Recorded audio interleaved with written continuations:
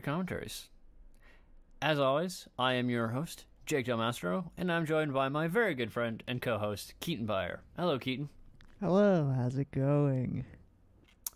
You know, not too bad. Do you, do you, uh, you ready for this? I am. Can you handle this? I think I can handle it. Because, you know, I think we're pretty good at handling things, you know. You know, much like the TSA, you know. Yeah, we, we, handle have. shit. Yeah, we handle shit on this podcast. Yeah, that's a Yeah. that's a much better opening bit than the bit I was gonna do. I was gonna do the. uh I was gonna say uh, I would have voted for Obama a third time, but uh that's my yours is much better. Thank you. So, as you may have guessed from our cryptic Oh, so cryptic. Masters of weaving webs of deception, we are. Yes. The the uh, the movie that we're covering today is uh, the 2017 horror film Get Out. Get out! Yeah, and you know, it's a good film. I like it. We're gonna spoil the hell out of it. It's very, uh, I mean, we spoil every movie we've ever done, and I think that kind of goes without saying. But Yeah. as you just mentioned, this this, if you're a first time listener, uh, this is a big spoiler. If you're a long time listener and you and you don't care or you haven't watched it, go f- watch it because as you said, it's it's it's good to not have spoiled for you. Yeah, no, like I, I really enjoyed uh, watching this movie without really knowing that much about what's happening in it. So, uh, And then know. it's fascinating to go back and watch it a second time, like yeah, definitely. knowing how it what happens. Um, because Yeah. then you can see there's a lot of stuff to look out for in that that rewatch. But um, Yeah. So, but before we actually get into spoiling the movie, which we will do, mm, yes, um, we have some uh, administ- administrative Um, stuff yeah, to some, uh, uh, yes, get through here. yes. Um, so I have noticed that uh, you know, over the last couple uh last little while over the podcast, uh for some reason people aren't listening to the part twos as much as the uh part ones. So uh you know, it, it might be kind of confusing the way we're posting this. Uh because I guess if you if you're like looking on your timeline or whatever and you see oh we posted a new episode but oh it's on the same movie, that might be Yeah. confusing. Uh, but yeah, there are in fact two. Usually two two, parts parts, to every film we do. Three. Usually, sometimes it's three, Uh, and occasionally, it's, one. Yes. Um. But yeah, every week, or almost every week, there should be a new episode unless we're taking that week off, which we will tell you ahead of time. Yes. Yeah. Yeah. New episode every week. Two parts. Usually we do uh, similar or organizational things, but we're gonna start outlining the parts for you so you know when to expect what. So if you know if there's something that's just in part one that you care about, or something in- just in part two, you can do that too. So you can just listen to this first little bit, and we'll we'll lay them out for you. Exactly. So, without further ado, So, so This is yeah, part this one. is we are in part one. This is the uh, in part one. We're gonna do the uh, we're gonna do the summary.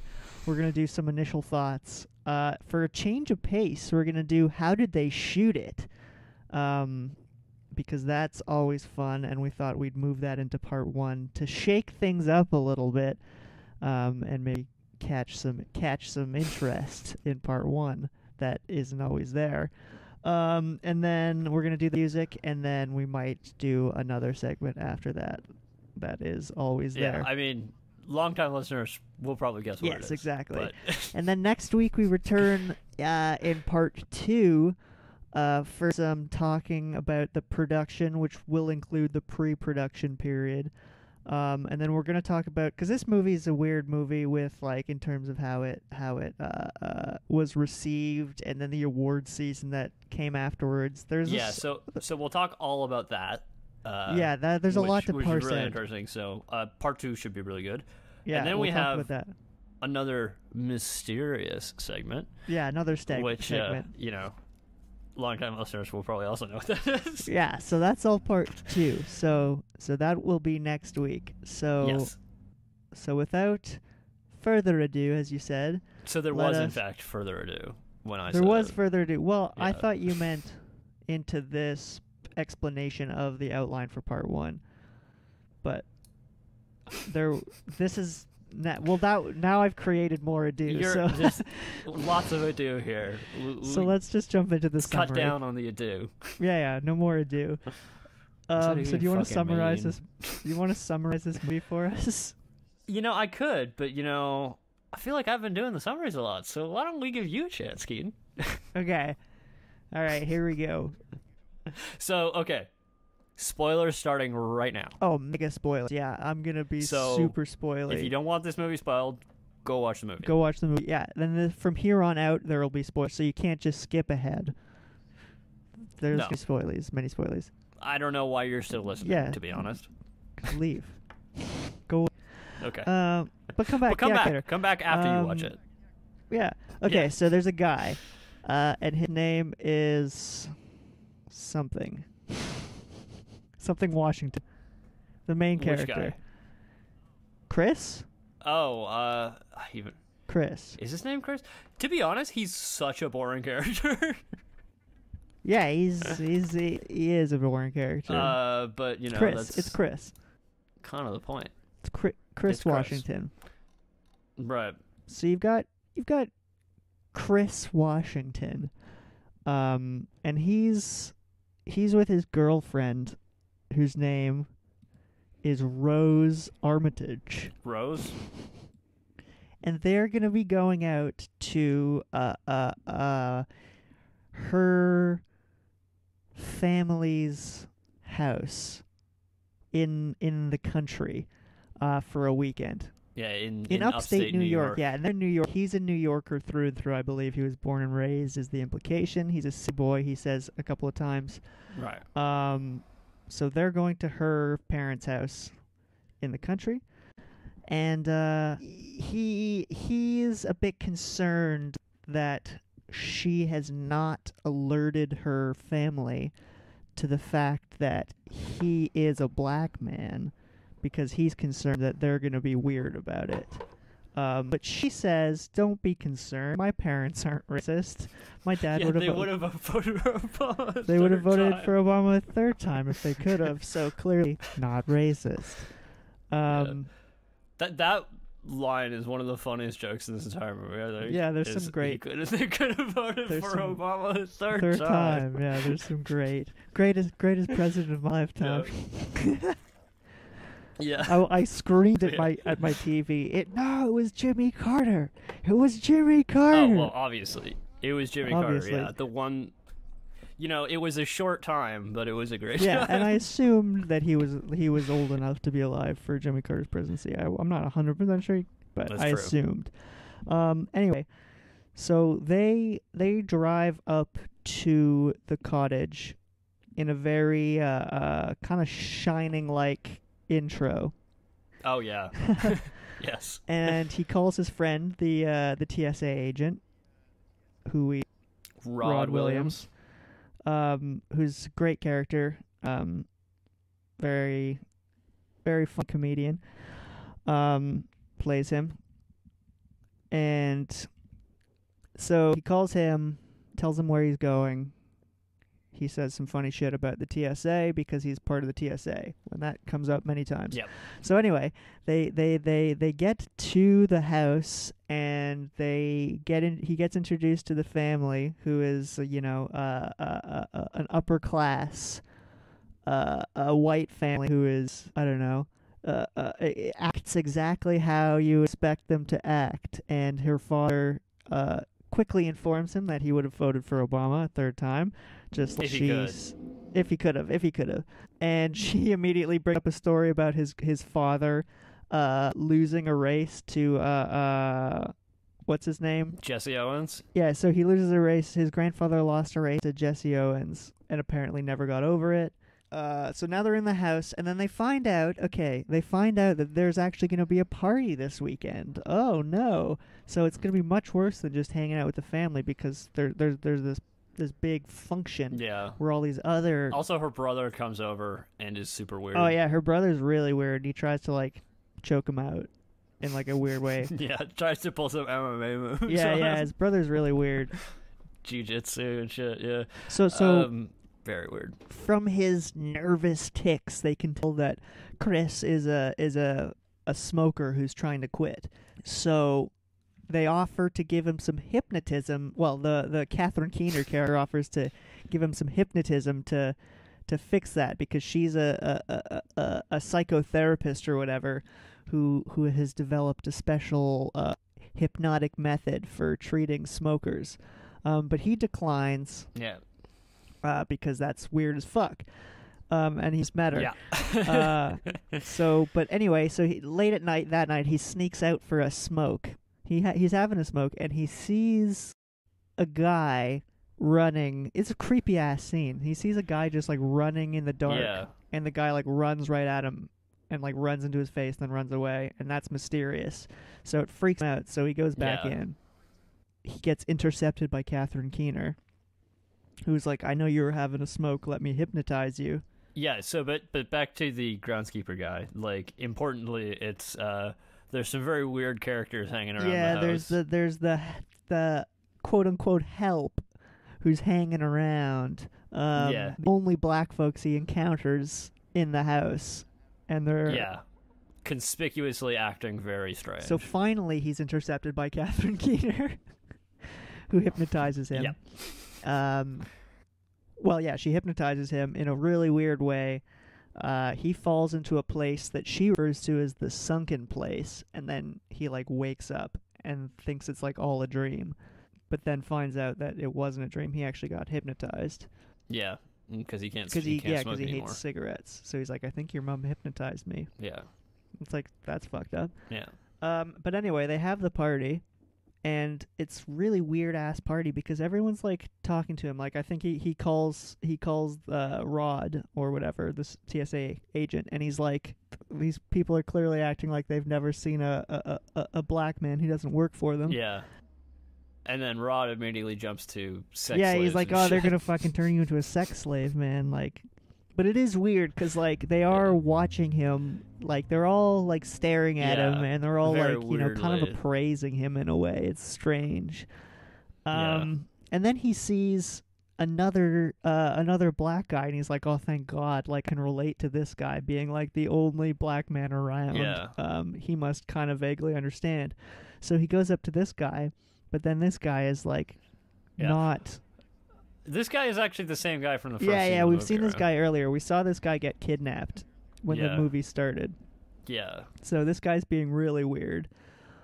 Um, and he yeah, he's like not on the level. Like he's not relating at all to Chris, even though Chris is like throwing out all these like you know like uh, uh, uh, ways to relate to him. He's trying to be like you know what's up, and then even at the end of the conversation, he tries to like fist Yeah. bump him, and the guy like shakes his yeah. And then he like yeah, Really weird, Really and then, like, and the way he cares. It's just really creepy interaction. So, and then finally, Chris is like, "This guy's really weird. I'm gonna take a picture of this guy and send a picture of it to to to Rod, my best friend." yeah, but well, actually, you missed the part where he Steve where he oh yeah, that's right. So he, well, yeah. What? So guy. you tell him about Stephen Root. Okay, so Stephen Root, you know, best known maybe for playing Milton in Office Yeah, Space. or uh, uh, uh, Bill Dauterive on King of the Hill, the greatest animated Yeah, TV show um, besides Scooby Doo of all time. All right, I'll just uh, leave that there. Uh, um, so anyway, yeah. So also he he ha- has this conversation with this blind guy who who who knows him because you know this guy is uh, an art Stephen dealer. Root is yeah. the blind guy. Yeah, um, and he knows uh, Chris because Chris is a photographer. And you know, somehow, despite being blind, he's like, "You have a really good yeah, eye." he like he knows that he's a good photographer. So yeah, yeah, which is a very strange thing to say. it is very strange thing to say.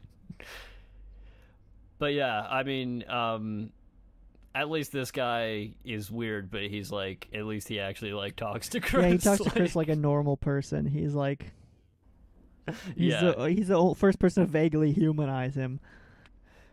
exactly. Yeah, Um. So yeah, he meets him, and has a weird conversation with him about his eye and blind art dealing. And then he goes and Yeah. he decides he's going to take a picture of uh, uh, uh, this other uh, guy, the only other black guy around. Um, Right. Yeah. Yeah. uh, what's the what are they calling him? Do you remember? I can't. I can't remember Anyway, so- him. He, he tries to sneak a picture of him. Yeah, but like a fucking like a dumbass. dumbass, you know, he forgets to He turn the flash off. What Yeah, kind of photographer exactly. He's a well, he because he's using his phone. You know, he's used to using his uh, his uh. DSLR. Right, yeah, yeah, yeah. Canon with his exactly. long ass fucking lens. So yeah, he but yeah, so he snaps a photo of him with the f- with the flash on, and the flash sets off this guy whose nose starts to bleed, and he freaks out and runs Yeah. at Chris and starts screaming at him to get out, get out. So it's yeah, it's the title of like the the film. name of the movie. Um, so that's intriguing. yeah, So they drag him away. They drag the guy who's freaking out away from Chris, and then like uh, the father explains that it was a seizure. Um, but the because whole the father is conveniently a neurosurgeon. he's a by the way, neurosurgeon. Yeah, yeah. which might come up later. Might come up later. Um, so he's like, "Don't worry, it was a seizure. Uh, you should go home and get some rest." So the other guy leaves, but Chris is like, "This is fucked. I'm, you know, I'm out. This is not." yeah, this is freaking me out. I'm going home. And Rose is like, I'm down. I'm with you. You know, I'm sorry. This is so bad. Let's go. So Yeah. as they're getting ready to go, he sends the Rod up the picture of the guy, right? yeah, And Rod is like, hey, that's this other guy who's been missing forever. for six know, months or for six months, yeah, yeah. That's definitely this other guy. yeah. yeah. It's So, like, but- he doesn't dress like that. He doesn't sound like that. Yeah, you like know, this something's is up, man. some something's up. So just as this information comes to light, just as the shit comes to light, fucking his phone dies. Right. And he's like, so now Chris is freaking the hell out, and he's like, we got to get the fuck out of here. yeah, let's get out. And then he, so he's like packing up his shit, and then he opens up the closet and he finds Oh. a shoebox, and he's like, what's in here? So he starts going through here, there, and there's like a bunch of photos of his girlfriend Rose, who up until this point has been like the only like Yeah. redeemable character uh, uh, Yeah. around him, who's like been on his side basically. Oh yeah, and earlier on, he she had mentioned this is important. She had mentioned that he was her first black boyfriend, like the first time she'd ever dated a black man, um, Yes. which is why he was so nervous about her parents' reaction Yeah. in the first place. Um, so then he's going through this shoebox, and he he starts flipping through photos. And he's like, "Holy shit! This is a bunch of photos of Rose with a bunch of black men. Like they're dating, and they're like selfies." And it's like she lied to me. Like who are all Yeah. these people? And then the last guy, I believe, I might be mistaken because I'm bad with faces, but the last picture is the guy who was the groundskeeper, who was being Yeah. really weird. Walt or whatever. Walt, yeah. So Yeah. he's like, oh, okay, this is she's fucked. This is fucked. This is all fucked. I need to go. So there's a whole he's trying to leave, and there's a whole confrontation, um, in the front where she finally flips on him and is like, "Nah, you're not. You're not Oh, going because anywhere." She, yeah, she's like, you know, I can't find the keys. I can't find the keys. But then we find out she's fucking a liar. she's a liar. She has the keys the whole time, Yeah, and she's like, she's in on it. yeah. So and then how do they knock him out? she uses Catherine Keener's, uh, uses the the tea Oh, the teacup. Yeah, because She- this is this is the the what should call it? What do you hip- call that? hip. Oh, the hypnotic uh, uh, uh, trigger. It's uh, what do you? Yeah, There's a word for it because they literally said it in this movie. Whatever. Doesn't matter. It's a hypnotic trigger. Uh, but has Rod already been? So yeah. like, well, yeah. So when she taps the the the the, the teacup, he passes out. Um. So they do that, Yeah. and he wakes up, and he's in a creepy ass basement, like rec room, um, with a ping pong table and a foosball. yeah. Meanwhile, Oh yeah. So meanwhile, okay. So meanwhile, Rod has been, you know, found this new the new shit has come to light. You know, with this. yeah, Ro- Rod is freaked out. Yeah, so Rod is like, "Oh shit, uh, what the fuck has happened to my friend? He's not he's not answering his phone. He's been gone for two Uh, days. they were supposed to come back, yeah, exactly two days ago. So he goes to the police, and he's like, "I have new information. Uh, this guy, my friend, is missing. Uh, because he's been kidnapped by a bunch of old yeah, they're gonna make him into a sex slave. and they're gonna turn him into a sex slave. I mean, it's not Um, as silly as that. It actually is a bit more reasonable when you watch the scene. But yeah, that's that is what happens. Well, but I mean, like that. The way that's how the cops react when when he yeah, says they that. laugh at him. They laugh him out of the out of the station. So the cops, the the cops laugh laugh him out of the station. Um, even after he he shows that uh, the other guy who's been missing for six months was there. yeah, that that's the kind of that, in this movie. That's probably the biggest like suspend suspension of disbelief moment, where it's like he does kind of have evidence of like a guy who's been missing has like popped up. You'd think they'd Yeah. probably take him seriously at that. Like I get he didn't broach the topic amazingly well, but Well, actually, there's um, I think I think there's a very specific reason why uh, Peele wrote it that way. that's Uh, and he it, it has to do with uh, apparently this is an actual statistic that like uh, well, uh, black people make up. 30% of all missing people missing persons cases but 16% yeah, of the yeah, population yeah. Well, that's what I was just about to say. Is like I think I think the fact that the police like didn't pay attention was part of the whole thing.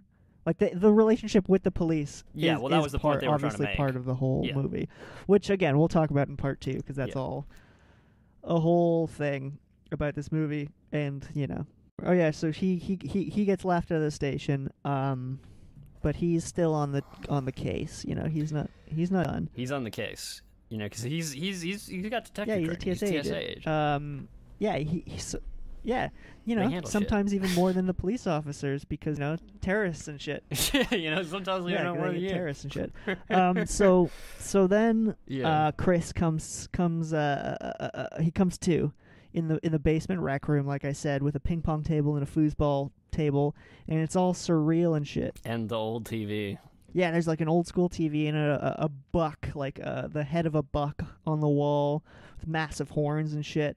Um, just like the buck they almost ran over at the beginning, or they did run over at the beginning of the film. right And yeah. then uh, the TV starts playing, and it's this weird, surreal, creepy ass commercial for like what's it? It's not exactly clear. What did they call it the something procedure I or forget. something? Yeah, exactly what Uh. they called it. It was it had a weird name. And the the video features uh, Rose's grandfather, um, and he's talking about how their their secret order has been trying to like come up with this specific thing for a while, but he's it, it's not exactly clear what this thing is. So he's like, uh, I don't know exactly what's going on. coagula Coagula, that's what it is. Gross name yeah, so gross. then the TV he the the, the TV plays a, a tea a teacup and he passes out again. So then and then Yeah. he wakes up later uh, and Stephen Root comes on the TV, right? And Stephen Root is in like a hospital gown and he's pixelated and weird. And Stephen Root basically explains the whole film to us. yeah so basically uh he's like so we're gonna take part of my brain and it's gonna be put into your brain jam it into your head. and you know so you know you're gonna kind of still be in there a little bit like you know but you know i'm gonna be in control Yeah. i'm gonna take over your body basically uh so it's it's kind of like the Goa'uld in stargate stargate actually yeah, there's a lot of similarities. um but yeah uh so you're just gonna be kind of sitting there seeing everything that's happening but i'm gonna be in control Yeah, you'll be in the sunken place. you you'll be in the sunken place which is the thing they showed earlier but uh Yeah. Yeah, but we're gonna cut your head open and we're gonna put my brain inside your brain, and it's gonna be like a big brain thing. Yeah, so it becomes clear that like that other guy had that happen to him. Yeah, that that's that's what's been. Ha- that's why all the like all the people were acting really weird. Yeah, yeah, they've been so they're like why he's like does he ask like why is it like why black people at the point? Yeah, no, no, no. Actually, I think this is also one of the really funny bits of the movie where he's basically like, you know, why black people? And Yeah. he's like, I don't, I don't really actually know. like, Yeah, yeah, yeah. Stephen Root is like, I don't know. this is basically like, why not? why not? But I mean, he's like, I don't really care. I just want your eyes. Yeah, I just want your eyes. messed. So he's Yeah, yeah, he's slightly um, removed, but they they seem to go after black people for a different reason. But Yeah. Like they're basically like, oh, you know, some people, you know, think they're more like athletic or Oh yeah, yeah. It's basically I think the whole point is this Jesse Owens thing. yeah. It's this like all comes back to this like weird eugenics thing of like, uh, and like DNA. Uh, uh, uh. I don't think they went into that much detail, but Yeah, basically, I think the idea is that you know, because he was so humiliated that he lost to Jesse Owens, he was like, you know, I need to become a black man to win or something. yeah, like that. exactly. So that's that's what's going on. Um, so in uh, uh, uh, a genius move to avoid getting uh knocked out again by the uh the hypnotic trigger, uh, Cr- Oh yeah. Chris smartly stuffs his ear full of the the shredded chair bits from. I take issue with Me too. this scene. Of course, How did he move his? How did he get his hands to his ears? well, he put his head down to his hands. oh, did he? But they, I don't don't know. show it. But yeah, to get it balled up, to get that much in your, I don't know. It seems like here I- I'm It, sitting. it was a good idea, but I, I, I think they should have showed it on screen Yeah. because I, otherwise I'm left kind of okay, here I'm sitting in a chair very similar to the one he was. Uh, But are your hands restrained? No, they're not restrained, but I'm gonna keep them down, and I'm gonna try and just like, just I'm just gonna try and do it. like, and I mean, maybe I don't know. Was his body restrained at all? Well, I yeah, that's. I don't think it was, but if his shoulders were restrained at all, then you can't do it. But It'd be impossible. but if your shoulders, if it's just like your arm, like your wrists and your ankles that are restrained, then uh, you could absolutely, I could see it happening. yeah. So anyway, he takes some fluff out of the chair and sticks it in his ear so he can't hear the fucking teacup. Exactly. Yeah. So he does it. And so he then he pretends he pretends to get He knocked out. pretends to get, become unconscious. So then uh, the son, the creepiest character of of the uh, of the of the uh, Armistead, whatever it was, family, Armitage family. Armitage. Armitage. Um, he comes in in a weird, a creepy pair of scrubs, uh, and he comes to to. yeah, because the procedure's already begun. Oh, in the other room, the procedure. yeah, t- it's has it's, begun. it's, They- yeah. it's getting people are getting cut up. Stephen Root's uh, brain is exposed. They show it you, to you on camera. Yeah, It's it- exposed. it- it's, awesome. getting kind of kind of Cronenbergy in there. Yeah, it does get a little bit Cronenbergian. So then uh, Chris is like, "No, I'm not unconscious," and he uh, beats in the son's head with a uh, uh, a bocce ball or something. pool ball. Was it oh bocce ball or a pool ball? Okay, I guess it's a bocce ball actually. It was a big ball, big I think it was a bocce ball because they mentioned bocce ball. yeah, earlier. bocce or lawn bowling or something like that. I don't know. just because I also I feel like a bocce ball is heavier than a pool Yeah, ball. exactly. I feel like it'd be much easier to beat someone's head in with a with a bocce ball than a pool Yeah. ball. Not that a pool ball is light. Like I think. Oh, you you could could do it with both, but but it wouldn't be yeah, as easy. yeah, I'm reaching for the bocce ball if I if I if I need to defend myself Oh, with yeah. one. Oh yeah. Um. So yeah, he does that, and then he's like, okay, and then it, it it cuts to the father who's cutting the skull open, and he's like, okay, where's my transplant? Like, where's uh, Jeremy with the transplant? So he goes and he looks out the hall, and he's like, what the fuck? He looks to the left, nothing. He looks to the right, nothing. He looks back to the left. And then it gets impaled with a fucking deer head. Yeah, looks back to the left, and then fucking deer horn in the throat. Fuck yeah. He gets stabbed to death. Yeah, a lot of people are getting killed at this point. Yeah, it gets really violent. Awesome. This is the point in the movie where I was starting to think I think he's getting arrested at the end of the movie. That would have been such a good ending, honestly. Like, That oh, Yeah. we'll talk about this Yeah, yeah, yeah. later. But there there was Yeah. multiple endings that were Yeah. conceived. yeah, so he stabs him, stabs him in the throat. He dies, knocks a candle over. Candle catches Yeah. Stephen Root's bed on fire. Yeah. So Chris is escaping. He's about to get out the door, but it turns out Jeremy survived the beating. Oh no, sorry, I missed the fight with uh, Catherine Keener. Catherine Yeah, he- Keener, where she tries to teacup him and then he smashes yeah, it. or yeah. He tries to teacup him, he smashes it, and then they like get into a struggle, and he ends up stabbing her to death. Oh yeah, that's true. Because he got stabbed yeah, through the he hand. she like actually, stabs him with like a letter opener which fully through the hand. kind of gross. weird. Um, yeah, I don't. Yeah, Yeah, it's anyway. not- not a fun one. but uh, And then uh, uh, and then he continues, Yeah. gets attacked again by uh, Jeremy, yeah, attacks him. Um, he kills Jeremy, stomps his face in, um, takes his keys. Yeah, surprised that Jeremy's not already dead. To be honest, Yeah, they just needed earlier, him to come back know. for this this bit. But Yeah. Uh, and then he, yeah, he gets in the car and starts to drive and then he away. hits He hits uh, the, the maid The lady. maid lady. Yeah, yeah. Uh, but and then he's like, "Oh my god, um, I'm, I know I shouldn't, Yeah, but I'm gonna really go back for her." but he goes back for her, um, which is weird that he does that. And he picks her up, puts her in the car, and as he's driving, well, I don't know. Maybe he's yeah, thinking yeah, maybe I can yeah. save I mean, her. it's honest, something, you fair, know? fair. Maybe I can un, un remove Yeah, undo I the mean, brain yeah, he's trying to save her. Yeah. Also, I I like the touch that they have here, where you can kind of yeah, see the scars on like, their head. f- scars on their forehead, permanent scars. Um, Yeah. Um. yeah. So he then he uh uh he, she comes back too while she's sitting in the car, and she freaks out and attacks him. Yeah. The car. Car Crashes. crashes. There's a big fight. Uh. Oh yeah. Meanwhile, his girlfriend, or I suppose, I guess she's still his girlfriend. They didn't break up quite yet. there, there was no no official breakup. They didn't still, officially break still up, but- technically together. But she, uh, so she's sh- sitting there, fucking drinking milk and listening to the Dirty Dancing song. like, yeah, she's being really creepy, looking for her next uh her yeah, next stalking people on through the- Facebook or whatever, looking for. Uh, Yeah, some- looking for what does she Google's uh, NCAA prospects. Oh god. um. Anyway, uh, I think she she hears something going on and she goes she after hears them. a commotion. yeah. She shoots at them. Yeah. Um. Yeah. She shoots at him, and then Walt also shows up and starts fucking shooting people. I think shooting at him.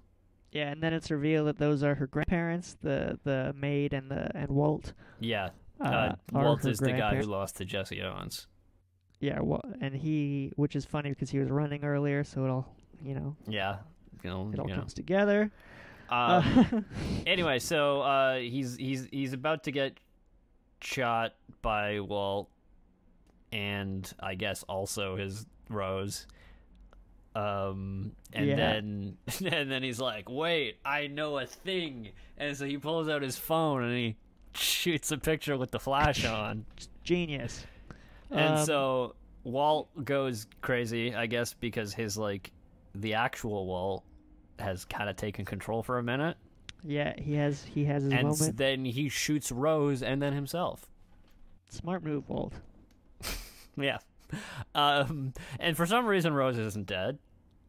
Yeah, so she she's not dead. So he goes to choke Rose to death because he's so angry at her.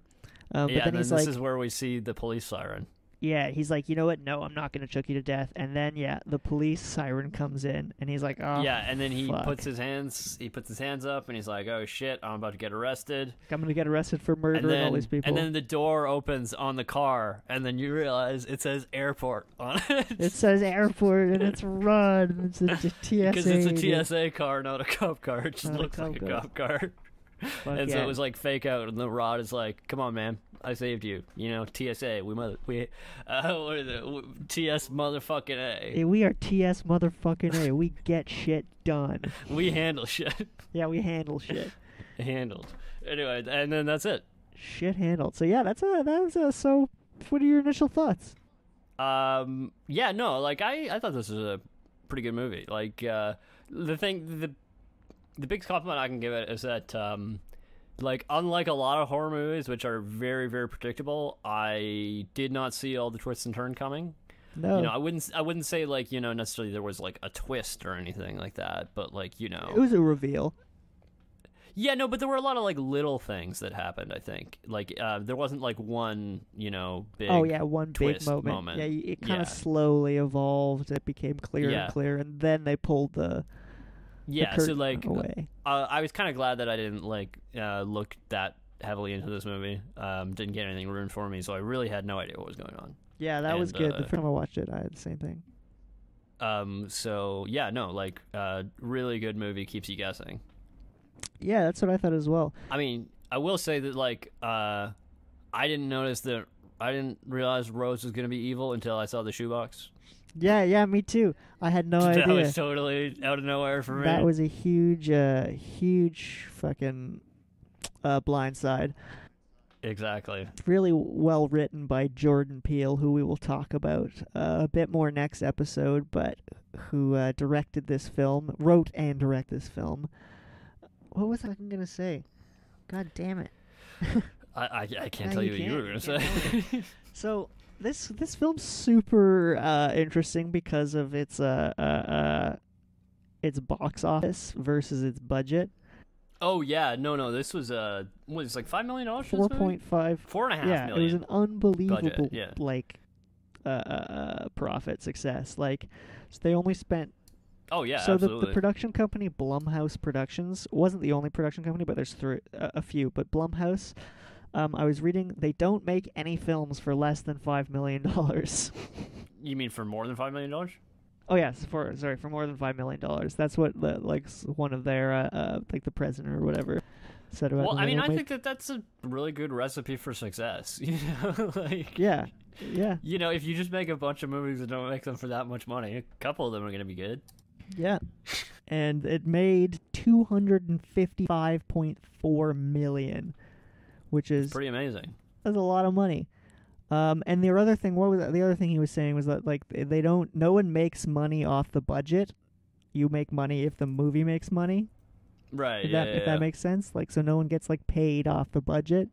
The budget only goes to like like you're for the saying movie? the the company doesn't make money on the budget because I mean obviously like you know you need to pay like the fucking you know the first AC and the catering crew and all those people they make not, money but like the people make know? their salaries, but like Yeah. there's no like profit off of the Yeah, people exactly. in the yeah involved. yeah I don't know the one thing that like stood out to me that I thought was like kind of weird was like uh the whole bit with uh, uh Stephen Root's character talking about like his eye which is like weird given that they spend like zero time establishing that he's a good photographer. Yeah, I feel like there was like Like he just kind of like walks around with a camera, and I guess we're supposed to guess like, oh, this guy's a photographer. yeah, they just kind of like they don't show any of his photographs. They don't even at the beginning. Yeah, they don't show any of his photographs. They don't have him like you know on the phone with like you know some client or something. I don't know. Like yeah, you know, exactly. They don't do anything to establish that he's a photographer. They don't do anything to establish that, which is kind of weird. besides but, show him with a camera. Yeah, and, like- they show him carrying a camera. like- like, they show that he- I guess. Oh, and you don't even get like yeah, you get that he's a but photo. how do we know that that's just not his hobby? Exactly, you get that he's a photo enthusiast, but like we don't get that like he's a good photographer. We should be like that he's like Exactly. a gallery, like Yeah, I don't know. Maybe that just got cut. that's what I was thinking. Like- Is there must have been more to it. Like there must have been stuff Yeah. that we missed. Because like Stephen Root talks like he's like, "Oh man, you're so good, you're so talented. Yeah, like you're this great photographer. Like, are we supposed to take his word for that? Like, Apparently, yeah, because we don't ever see any of his Yeah. fucking photographs except for the one he. We see the Well, I one mean, he took neither of, has uh, he. of uh, the guy. yeah, but that was just one yeah, on his we saw that one though. this is one where he's trying to be, he was trying to hide yeah, it. exactly. Uh, but anyway, what was I gonna say? Like, I mean, I guess Stephen Root hasn't seen any of them either. No, because he's fucking blind. Yeah, yeah, kind of interesting thing. Uh, him having bad eyesight in this movie too. That Just is like funny. Yeah, yeah, Space. yeah. Maybe he just needed the right prescription in this film, and it would have been. Maybe it's the same character. no way. oh God, no, it's well, no, not. because Stephen Root got. Um, How do you think he paid for it? After after he did that beach vacation, vacation, he became an art dealer. oh, he became an an art dealer. I don't know. He doesn't have the voice though. Yeah, I feel like you don't like you don't lose that uh, stammer like the money Easily. money gave him confidence. yeah um do the swing line do do the swing line. I'd like to, I'd like to I'd like to put your I'd like to put your brain inside my brain. yeah it was it was cool seeing uh you know previous brain. I'm going to people put, featured on the podcast as well as Catherine put Keener uh, for your- example I'm gonna put my brain inside your brain and it's gonna be like one big brain I'm gonna get to your eyes with your eyes Yeah, yeah, yeah, I'm gonna put your I'm gonna put your eyes into mine so that I can have them. okay now let's move Um, on Yeah, that's sorry. That's so much fun. all right should we just get on to how they shoot it Yeah. All right. Uh, let's talk about how they shot it.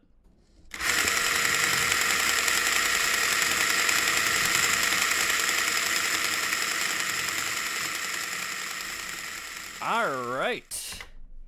Uh, let's talk about how they shot it. How did they shoot it?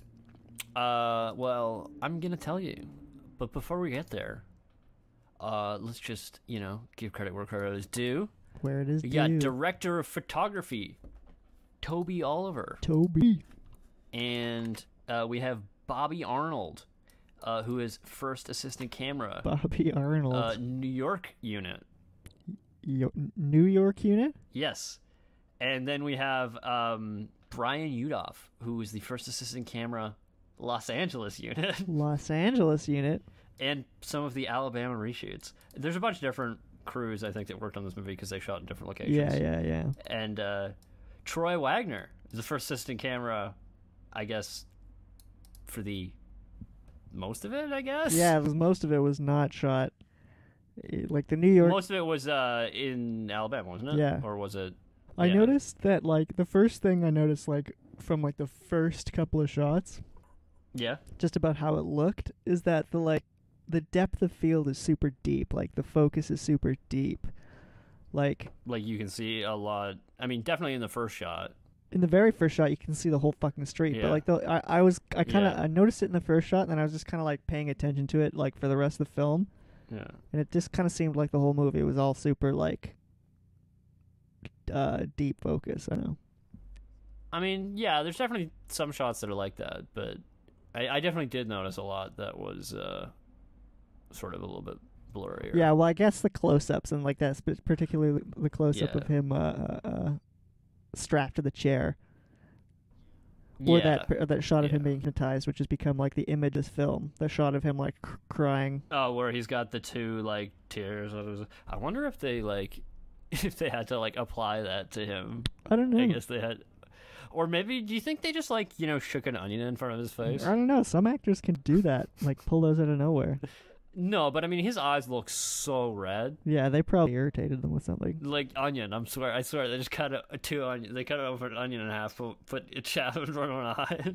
Just like chopped it in front of the. Like, all right, well that's how. Yeah. Good to know how you would do it. you know, that's how I would do it. but um, Does your uh, actor I have to sign have a- information? Sign a waiver. A release? Well, I mean, you probably explain it to them and be like, "Are you okay with those?" you get some. We got to get that in written consent, man. You can't. But I mean, like, far worse has been done. Yeah, no, it's true. Uh, I mean, like, remember when we talked about the uh, Sergio Leone movies? Yeah, I, well, that I was just thinking that's immediately where my mind went to. yeah. I mean, I feel like there's no chance of actually like hurting somebody with it. You know? No. Well, But anyway, so what do you think? Do you think this was shot on film, or do you think it was digital? digital. And you're right. Fuck yeah. Yeah, it would have been kind of just impractical. I feel like. Yeah, well, yeah. I mean, also, especially you know, given um, Jordan Peele this is his first time directing. Yeah, exactly. We, we didn't mention that earlier, but this is his his first directorial. Directorial yeah, debut. yeah, and we'll we'll talk about all his career and everything a little bit more next week. But But yeah, so this was uh, a digital process, but was it anamorphic or spherical? I don't think it was anamorphic. No, it was not. Okay. It had the uh, cinemascope ratio, but it was not actually anamorphic. Okay. So wait, so it had the cinemascope ratio, but it wasn't anamorphic. yes. So it had a big ass ratio. Well, it was yeah. Basically, it was crop top and bottom Yeah. Right. Right. right. Okay. Yeah. yeah. to make it wide. It was right? quite wide. Yes. Uh, which, according to uh, cinematographer Toby Oliver, was just because um, he thinks that uh, that's just more cinematic and that uh, the tolerant ratios look too much like TV to him. That's fair. I kind of agree with that. Yeah. Um, yeah, that's that's one way of looking at it. Uh, so, but he has some interesting uh, things to say in this interview, which I read Oh, uh, in Cinelix was the publication. Okay. Cinelinx. sorry, Cinelinx. Cinelinx is the publication. Is the publication. Uh, he was interviewed about uh, several things, and he was so this. He was saying about the budget that he was actually really comfortable shooting with a um, a four and a half million dollar budget because he is Australian, Okay. and apparently four and a half million, around five million dollars, is like the average budget for an Australian movie. Perfect then. Uh, so um, he didn't have uh, any trouble doing that. Perfect guy to hire. Yeah, he also was saying how it was interesting that they they shot this movie entirely with zoom lenses, Interesting. Interesting. um, which was not something he was used to. But apparently, this was something that was done specifically because of Jordan Peele's sort of inexperience, as it were. What do you mean? So what is it? basically uh, he was saying uh, in prep i took jordan into a rental house to have a look at some lenses on camera and get an idea of what he might like to use being a first-time director his experience with gear and technicalities of filmmaking was limited i demonstrated some cool vintage prime lenses and the classic Cooke S4s along with the Angenieux zooms as soon as jordan saw the zooms he said these were what he felt more comfortable with and i was happy with that if it was easier for him to get his head around. While I had not shot a feature entirely on zooms before, I liked the look of the Angenieuxs. I think they are very cinematic with a certain amount of warmth and character. So why do you think he felt more comfortable with the zooms, or what makes them more? Well, because, you know, I think, you know, this is kind of uh, every time I've sort of uh, shown somebody like you know my old cameras or whatever they're like or i'm like hey do you want to take a picture of me uh, or like can you take a picture of me or Right. whatever right so i pan them my film camera they always ask okay how do i zoom oh right, people like to be able to. without fail everybody always asks me People this. like to be able to zoom. Well, because see, yeah, people So like to be I- able to frame like, without. it's it's a lot more complicated to change your framing without a zoom lens Yeah, well, if you have a like you either need to change the lens or you need to move yeah, you need to readjust the whole shot. So I guess with a zoom lens, you can just like, you can just turn the knob and it Right. zooms in. So yeah, I think it's just because like, you know, now in this, you know, modern age, like everybody's got, you know, Zoom on their phone, right? yeah. Although I've, I don't really ever use a zoom on my phone. I'm terrible at using it. Well, that's because the zoom on the phone is not an actual optical zoom, as we know. digital, it's terrible. Yeah. Yeah. Uh, but anyway, that's not uh, what we're talking about. Uh, but anyway, yeah, no, I, I just thought that that was uh, interesting. That uh, you know, That is interesting with zoom because the whole thing is, is so it's easier. I just like that that point about yeah, but like, there's not actually even that many zoom sh- like shots where the lens zooms in the movie. no. I mean, there's a few, but It's just they use zoom lenses because that's what. he was comfortable with. So okay, uh, let's talk about the sunken place, Okay. w- which is the place he goes to in the film when he gets hypnotized, and where he's gonna go when he gets, you know, taken over. The most surreal shot in the film. Uh, let's talk about how uh, how uh, Toby Oliver explains it. Okay, how did he explain it? Because it's not really what I thought, although it makes sense. Yeah, so he says uh, the sunken place is realized very close to the original concept ideas. While Jordan didn't want the character to actually look like he is underwater per se, I had the idea to use the technique of shooting dry for wet. Normally used to simulate deep underwater on a dry stage, used in movies like The Abyss. Sick. We shot the an- the actor hanging on a wire. Um, on- Did he sorry. work on the abyss? No, he didn't. Okay. Uh, we shot the actor hanging on a wire rig in slow motion, in our case at 200 FPS, and had fans blowing to ripple his clothes. Then had the camera dolly uh, past him to suggest the idea of falling. The wire rig was fairly static, so I had the camera move around the actor to create movement. The drifting particles and the glowing screen were cleverly added in post visual effects. Very cool. Very cool. Yeah.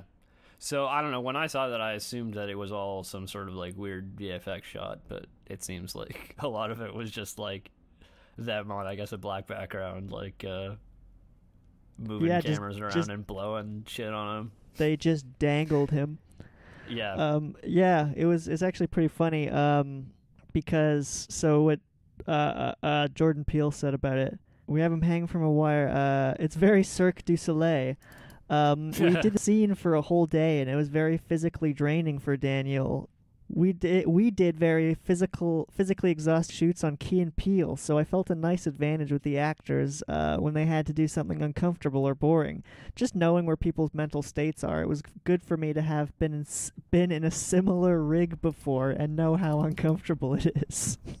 Right? Is there a particular sketch that he did that? Like, Um, I I looked for one, I couldn't find it, but we'll talk about it more. We're gonna talk about Key and Peele a bit next week, so I'll I'll do a bit Yeah, more research and, and, and try to find that sketch where he's dangling.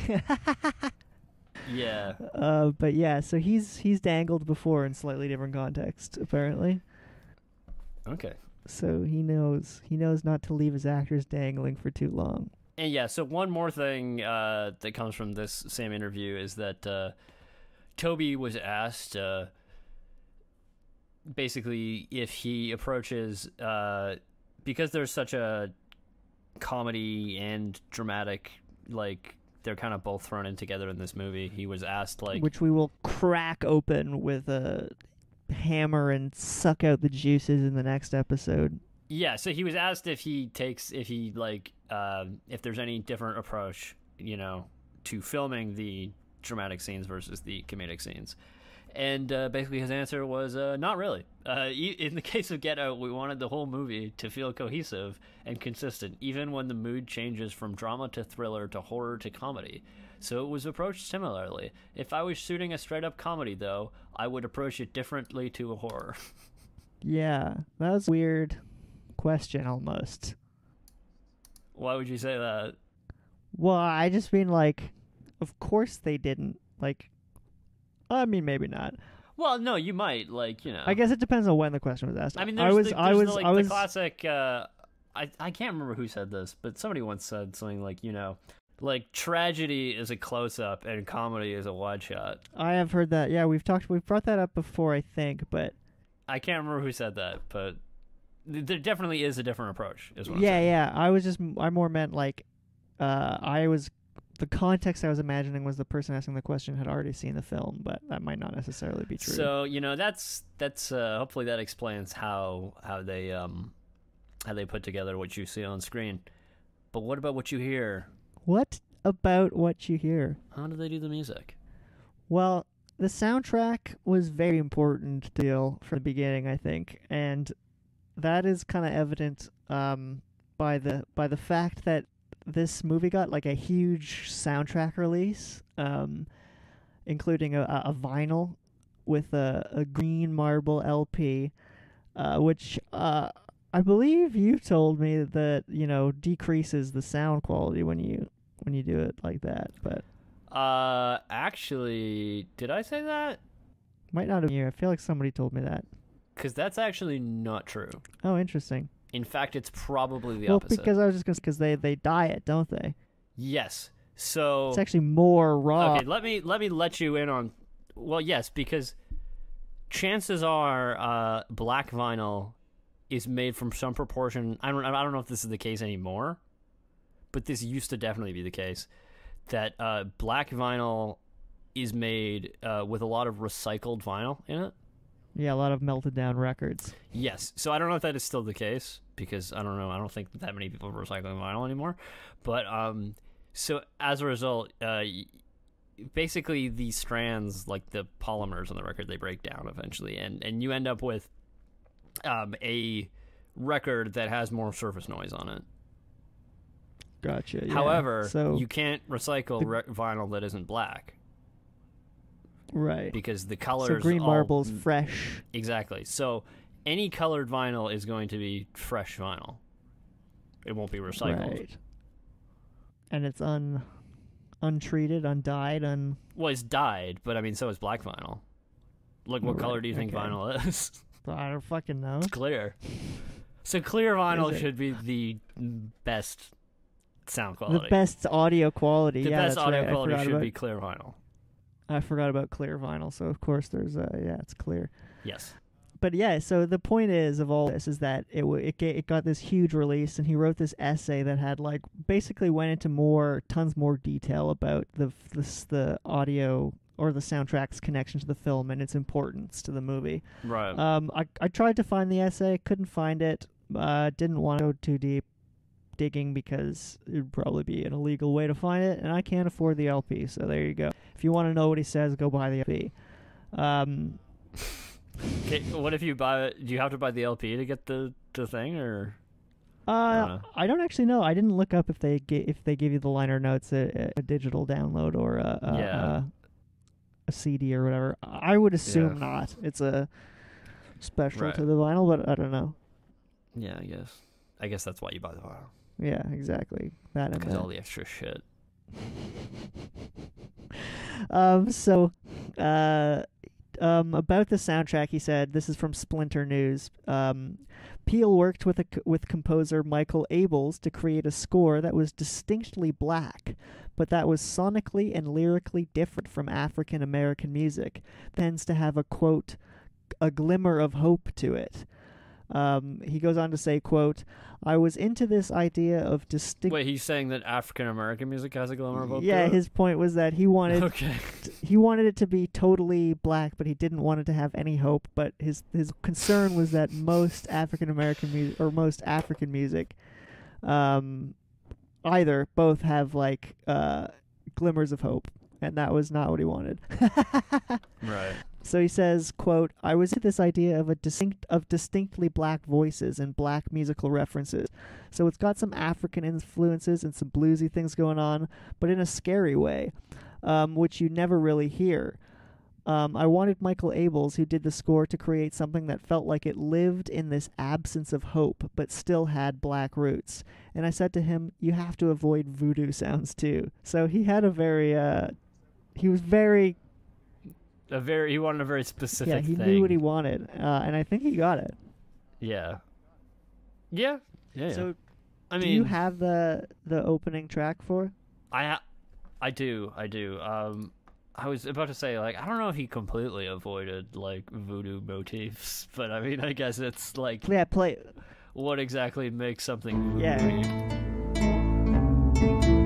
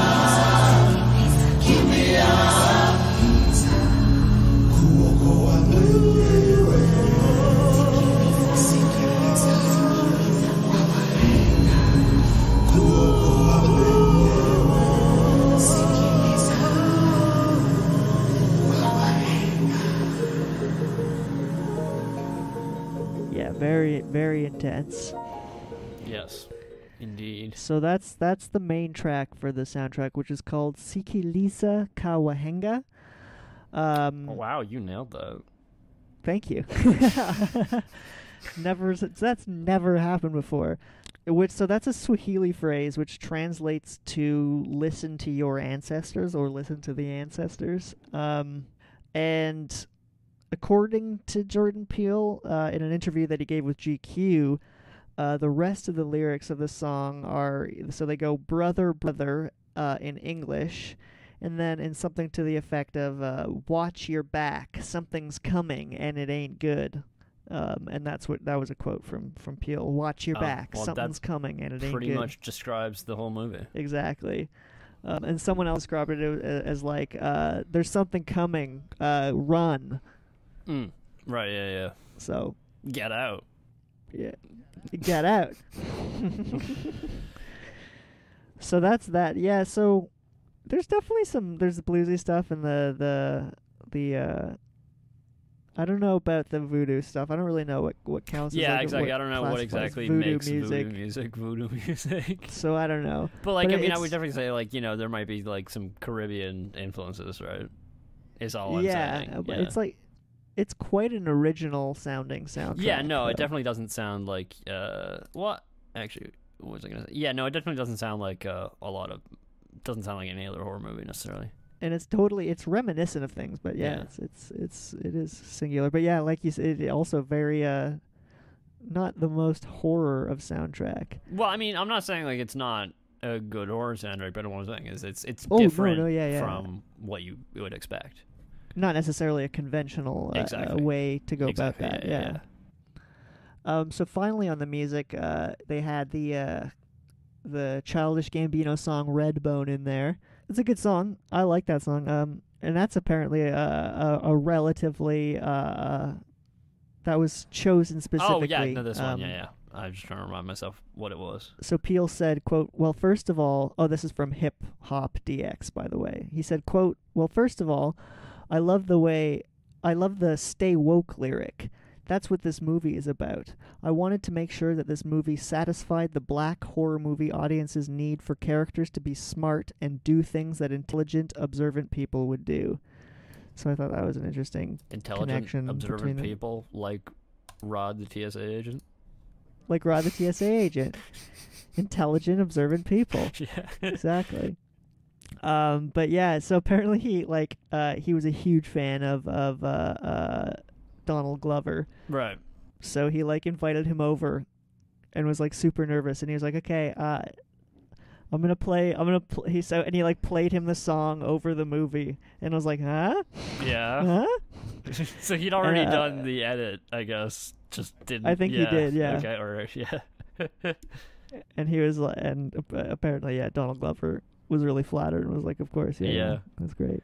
Yeah, I mean, I, I would, Uh, I think that's funny that that uh, the way he put that about being like, you know, kind of uh, nervous about that. Uh, when I was, I'm thinking like now, now Jordan Peele after having like won an Oscar and everything, is like, man, now you're you're the one with clout now, like Exactly, exactly. he should be nervous about working with you. exactly, yeah.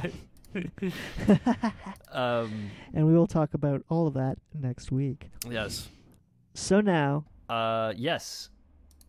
Um, actually, before we do this, do you want to talk a little bit about uh, the thing I sent you about the TSA agents? oh yeah, yeah, yeah, yeah, yeah. So, This is just a funny tidbit that I found while I was looking into this movie, and I didn't really fit anything anywhere else. But um, basically, uh, I was trying to figure out, like, you know, had um, if like any TSA agents, like, how they would have reacted to this movie because it's like rarely ever do you see like a TSA agent being the hero here.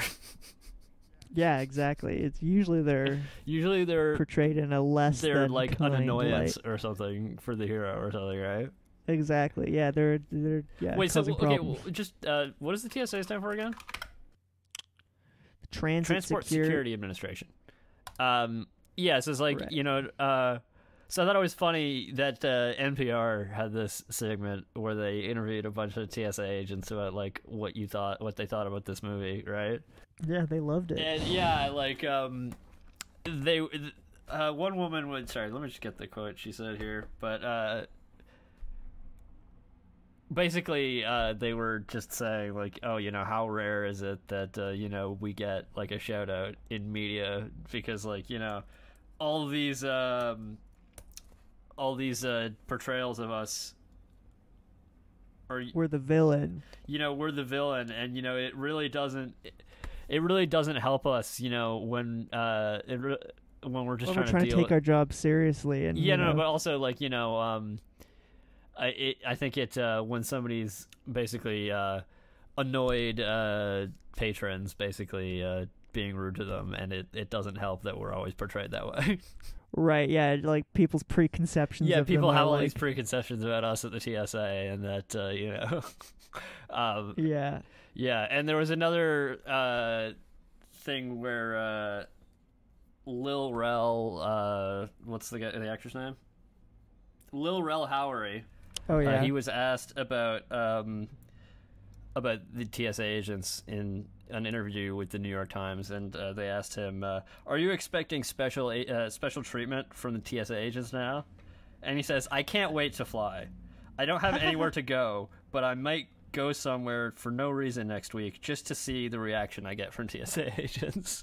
That's hilarious. Well, I think it was um It was a, Jordan Peele who was saying that he made him a TSA agent for the reason that he thought it was interesting because it's like it's like the one like situation that he's in regularly where he like the black man is not the most suspected like the not the most not Oh, assumed to be I the most suspicious man in the room. Yeah, because I was wondering why he made him a TSA agent because it's a really odd choice.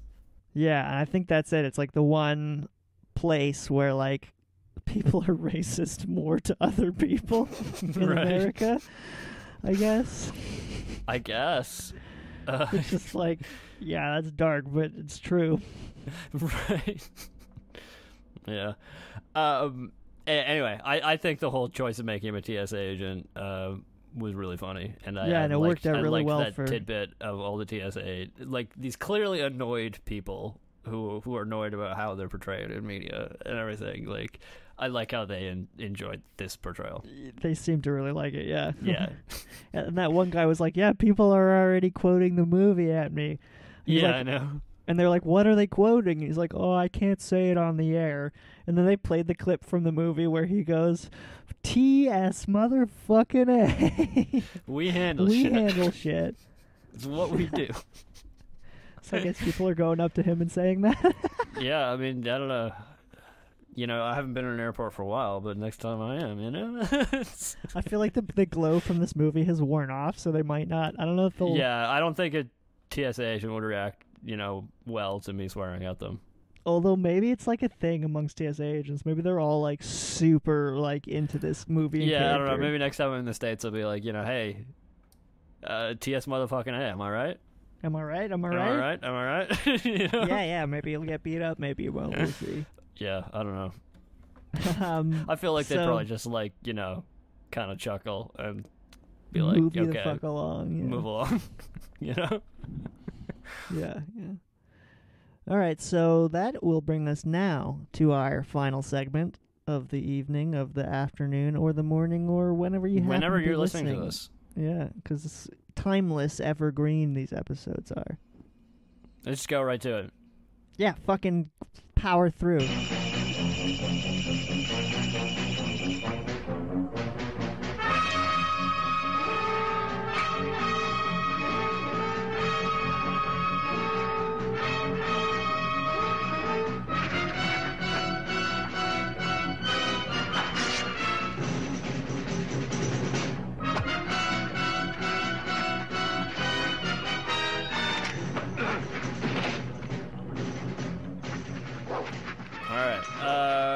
So, welcome to the segment known as Six Degrees of Star Trek, where we find out the connections between this film and Star Trek. Fuck Uh, yes. This can be any screen appearance on Star Trek. Could be a TV show, could be a movie, but it cannot be a comic book or video game. Okay. Um, Okay. So, uh, first, let's start with. Uh, okay, wait, wait. Before I continue, actually, uh, do you think this was difficult or easy? Do you think there are a lot of first connections, or I think I have to go through a couple? It could go. It could go, it could go both ways. The only way it's easy is if there's a lot of connections to like Star Trek Discovery or something. But I don't know. Jordan Peele, he worked on TV a lot. He worked in comedy. I don't. I I mean, I don't know. Maybe there's some connections there. So Yeah. I'm gonna shoot in the dark, and I'm gonna say there was a lot of connections. Okay, there were. There are three direct connections. Oh fuck. Okay. Actually, it could be more, but I stopped at three.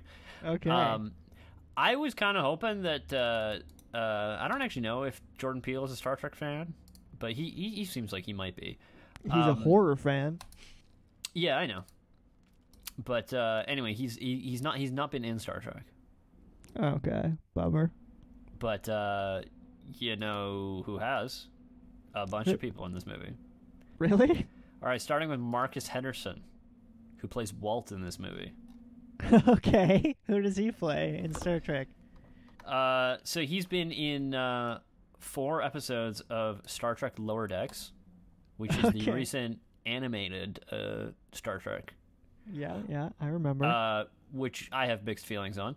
Uh, yeah, we've we've discussed it. It's come up a couple of times actually. yeah, where he plays uh, Lieutenant Jet, or voices Lieutenant Jet. Voices, yeah, yeah.